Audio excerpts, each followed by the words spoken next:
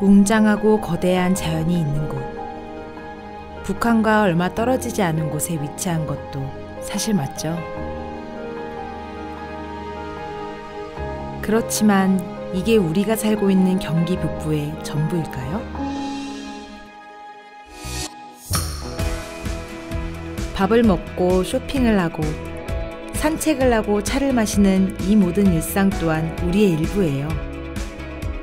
여러분이 알고 있는 것들 중 절반은 맞고 절반은 틀린 경기 북부의 진짜 이야기를 만나볼 시간입니다.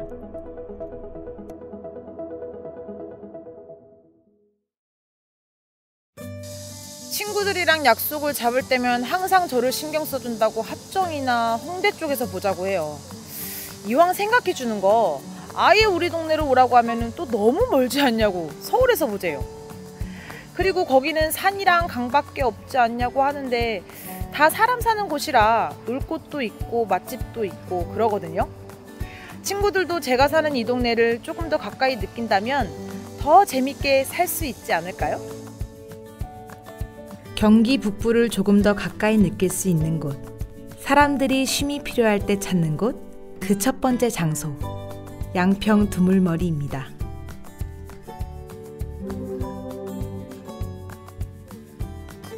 오늘은 특별한 날로 옆에 계신 분과 첫 만남으로 데이트를 에, 나왔다가 이렇게 영광스러운 인터뷰를 하게 된 것을 제가 아주 자랑하고 싶어요.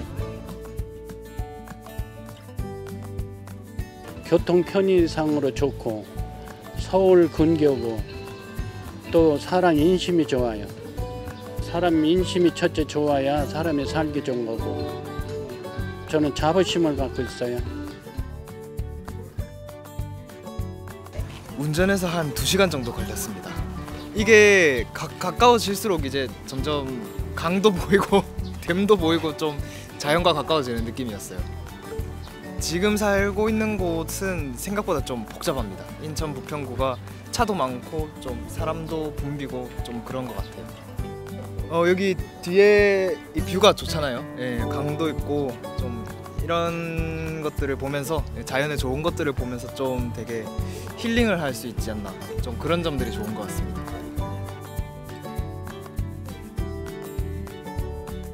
아 여기는 제가 자전거 타러 여행을 좀 많이 왔었거든요. 뭐 코로나 전에는 그래도 1년에 한 가을이랑 봄에는 두 번씩 왔었는데 어, 여기서 자전거 타면 되게 좋거든요. 양평이 서울이랑 좀 가까운 편이고 가까운데 이렇게 뭐 이런 좋은 데도 많고 그래서 뭐 약간 일과 휴식을 좀 병행할 수 있는 아, 그런 동네인 것 같아서 살게 되면 좋을 것 같은데 아마 앞으로 집값이 많이 오르지 않을까요? 네. 서울이랑 가까우면 다 오르더라고요. 네. 사계절의 빛을 온전히 간직한 땅 경기 북부. 오늘을 살아가는 이의 보금자리이자 어제를 위로하기 위해 찾아온 이의 안식처가 되어줍니다. 우리의 어제와 오늘이 공존하는 곳 파주 임진각입니다. 어, 한 3, 40분 정도 걸렸고 지하철이 잘 연결돼 있어서 오는데 어렵지 않았습니다. 파주라고 해서 굉장히 멀 줄 알았는데 서울에서 멀지 않아서 와서 놀랐습니다. 여기를 마지막에 왔던 게 10년 전에 한번 왔- 이제 왔었었는데 다시 와 보니까 좀 뭔가 색다르고 바깥 풍경도 예전보다 훨씬 깨끗해지고 많이 정돈됐어요. 예전에는 그냥 허벌판 느낌이 강했는데 지금은 건물도 많이 들어오고 곤돌라도 새로 생기고 이러면서 정말 좋아졌습니다. 네. 만약에 또 오게 된다면은 다시 한 번 더 관람하고 싶을 정도로 좋은 시간이었습니다. 임진각 자체가 6.25 전쟁의 역사를 표현한 것 같아서 좀 자랑스럽고 여기 자연에서 함께 있으니까 좀 시원한 느낌도 들어요. 저희 할머니가 파주에 사셔서 뵈러 파주에 왔었었는데 이렇게 위쪽에 있는 곳이라 뭔가 자연 친화적이고 막 없을 것 같았는데 도시적인 느낌도 나고 이렇게 자연과 어우러져 있는 느낌이었던 것 같습니다. 옆에 있는 저희 베이시스트 지민석 군과 제가 같은 군악대에 복무를 했었는데 그때 견학으로 와봤던 곳입니다. 땅굴 견학을 갔었는데 정말 충격적이었습니다. 그런 걸 찾아낸 우리나라 그 국군 장병들에게 되게 감사한 생각도 들었고 평화롭고 되게 음, 자연 경관이 좋은 곳들이 많잖아요. 그래서 항상 그 먼 시간 달려서 오면은 힐링을 받고 가는 그런 곳인 것 같습니다. 차를 끌고 오면서 어, 중간에 신분증 검사하고 북한 넘어가기 직전 구역도 보면서 역시 우리나라가 휴전국이라는 걸 다시 한번 어, 느끼게 되었고 파주는 사실 항상 올 때마다 자유로가 되게 뻥 뚫려 있고 드라이브하기 좋아서 어, 파주 앞으로도 굉장히 좀 자주 올 것 같습니다. 지난날 이곳에서 버텨온 누군가가 남긴 흔적을 따라가 봅니다. 그 발자국에는 내일에 대한 기대가 꿈틀대고 있죠. 폐 채석장의 아름다운 변신, 포천 아트밸리입니다.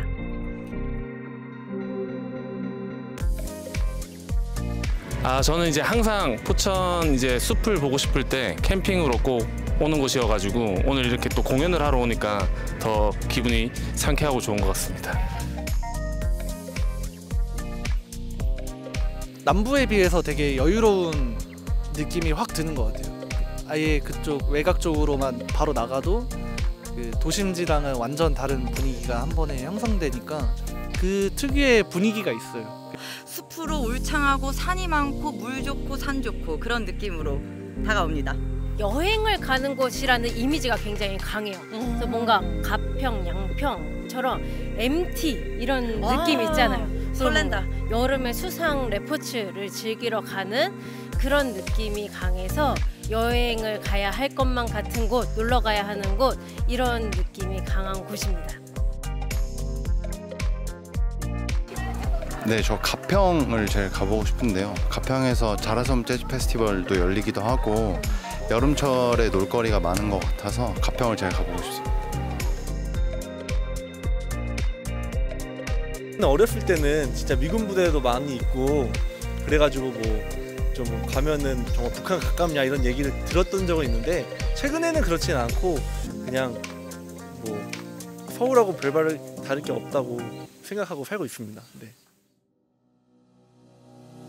여유와 생기가 가득한 이곳에서 우리는 훌쩍 떠나지 않아도 완전해질 수 있습니다. 가장 빠른 변화를 맞이하는 곳, 있을 건 다 있는 일산 라페스타입니다.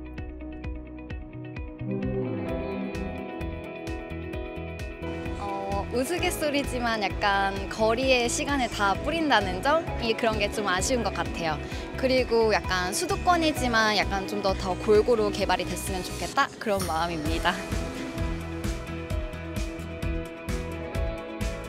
제가 살고 있는 거주지가 안산인데 그 안산과 같이 일단 평지가 너무 많고 도로가 안산에 비해 되게 넓다. 그래서 산책하기 되게 좋은 공간인 것 같아요. 어, 일산 안에서 이제 다양한 문화생활 할 수 있고 또 즐길 수 있는 것도 많고 굳이 어딜 가지 않아도 일산에서 다 해결할 수 있는 게 좋았던 것 같습니다. 제가 10년 전에도 느꼈던 건데 굉장히 깔끔하고 또 있을 게 다 있고 교통도 되게 잘 돼 있고 뭐 그런 느낌이었어요. 놀러 갈 때도 되게 많고 그 일산 호수공원이나 여기 라페스타나 네, 이런 것들이 되게 잘 돼 있어서 되게 놀기 좋다 그리고 또 살기 좋을 것 같다라는 생각을 그때 당시에도 예, 어렴풋이 했었던 것 같은데 지금도 변함없이 좋은 것 같습니다. 여러분은 인천하면 어떤 게 떠오르시나요?